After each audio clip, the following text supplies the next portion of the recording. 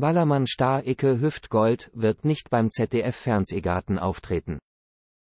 Er kritisiert die Musikauswahl der Mallorca-Edition und bezeichnet sie als weichgespült.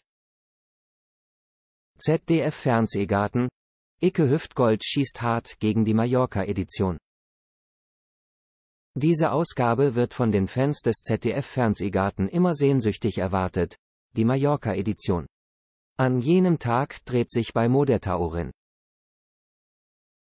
Andrea Kiewel, 58, ihren Gästen und Publikum alles um die wohl liebste ausländische Insel der Deutschen. Am 30. Juli ist es auch soweit. Doch wer alles auftreten wird, ist noch nicht final bekannt. Klar ist allerdings, dass Ballermann Star Icke Hüftgold, 46, nicht von der Partie sein wird. Der hat sich nämlich kürzlich im Interview mit der Westen abfällig über die Musikauswahl bei der Mallorca-Ausgabe des Fernsehgartens geäußert. Die Musik spiegelt leider null die Wahrheit am Ballermann wider. Ich rate dem ZDF, den Mallorca, Fernsehgarten, in lustigen Nachmittag für alte Menschen, umzutaufen. Die wollen keine richtige Mallorca-Musik, sondern nur so einen weichgespülten Scheiß der auf Mallorca überhaupt keine Rolle spielt. Anscheinend wollten die Verantwortlichen lediglich einen bestimmten Song von Icke hören. Die wollten von mir, Lied mit gutem Text. Da hatte ich, echt die Schnauze voll. Das darauf hat der Sänger keine Lust und betonte, dass er das alles schwachsinnig fände. Autsch.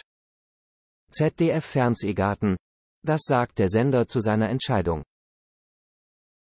Icke Hüftgold werden die ZDF-Fernsehgarten-Zuschauer am 30. Juli also nicht zu sehen und hören bekommen. Doch was sagt der Sender eigentlich zu seinem Gepolter? Das ZDF reagiert gelassen und ließ verlauten. Die Musikredaktion des ZDF-Fernsehgarten bekommt häufig mehr als einen möglichen Titel von Künstlerinnen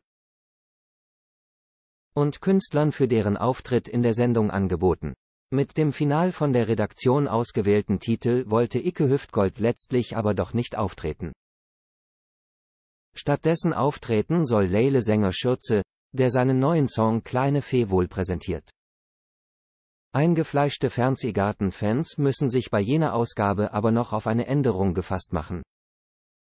Denn aufgrund des Spiels der Frauenfußball-Nationalmannschaft am selben Tag gegen Kolumbien, wird die Ausstrahlung erst um 13.30 Uhr losgehen.